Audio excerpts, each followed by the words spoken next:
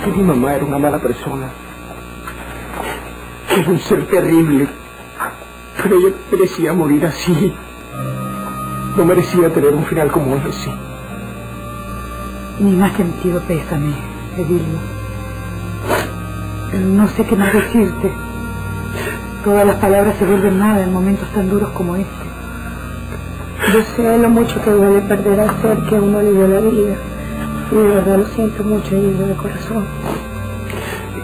Cabello, no tengo cara para recibir tus condolencias. Siempre me porté mal contigo. Ay, no pienses en esas cosas que ya yo ni recuerdo. El pasado pisado. Y ya, ok. Yo soy una mala persona. Yo heredé la sangre de los Lara Portillo. La misma que destruyó a Cándido y a mi mamá. La que va a terminar destruyéndome a mí mismo. No, tu vida no tiene que ser como la de ellos. Tú eres un hombre joven, Edilio. Tú todavía tienes tiempo de recomponerte. Mi vida era lo único que yo tenía. Tu amor era lo único que yo tenía y la perdí para siempre. No, hijo, tú no la perdiste. Ella vuelve contigo si tú, si tú te enderezas, si tú te enrumbas por el camino del bien.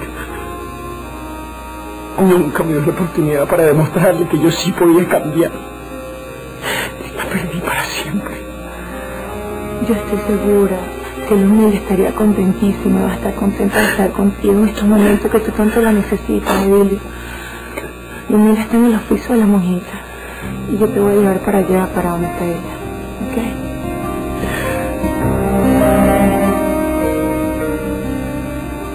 Pero no, no puede haber sobrevivido porque yo... Lo importante es que yo dejé a Raúl a salvo. Por favor, hermana, y habla con él. Dígale que se apiade de mí, que me perdone. Pero Sa- Santa Bárbara, ¿qué es esto? ¿Qué hace esta señora ahí? ¿Y ese sandero? Bueno, la verdad es que yo venía a decirle algo, pero mejor Bueno, pues diga lo que vino a decir y con la misma se va. Bueno, es que la bruja de pastora se murió y ahora están culpando que a Inés de haberla matado.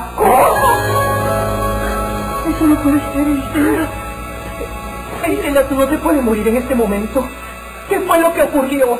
Tú estabas presente. A mi muchacha no me la pueden culpar de este crimen. Por favor, Elisenda, habla. ¿Qué fue lo que pasó?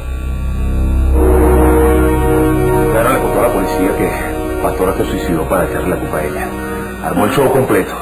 Ay, Dios mío, esa mujer estaba totalmente desquiciada. Pero Raúl no se dio cuenta, no vio nada extraño. No, no, lo que pasa es que entre el humo, los golpes y el ruido era muy difícil ver lo que estaba pasando ahí arriba. Raúl solamente vio cuando, cuando Pastora cayó al vacío. Que esto era lo que ella quería. Tener a Raúl y a Clara Inés en el mismo sitio para poderlos separar. Y después hundir a Clara Incluso nosotros no podemos permitir que esa mujer después de muerta nos siga destruyendo la vida. Tenemos que hacer algo.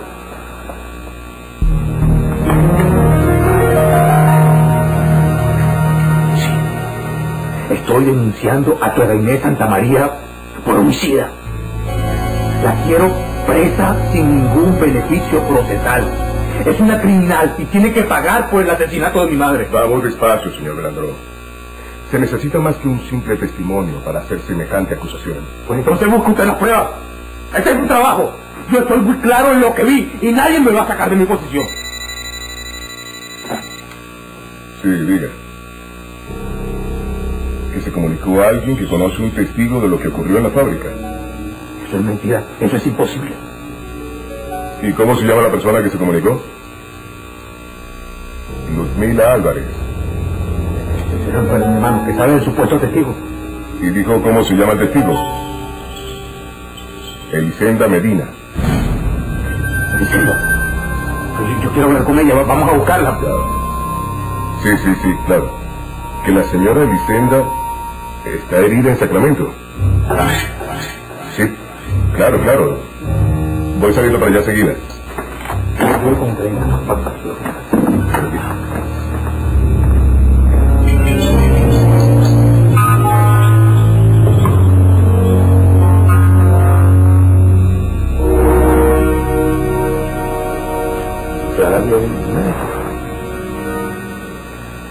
Sí. Pero no hay nada que hacer, Raúl.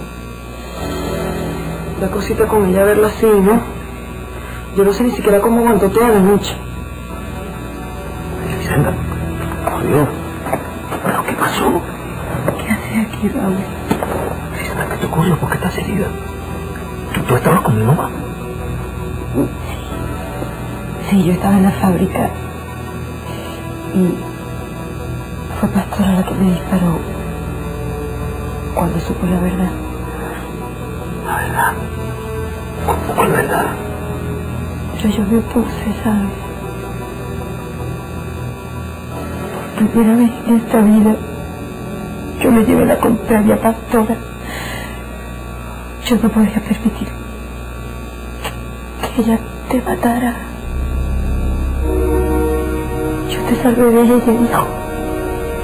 ¿Por qué iba a matarte?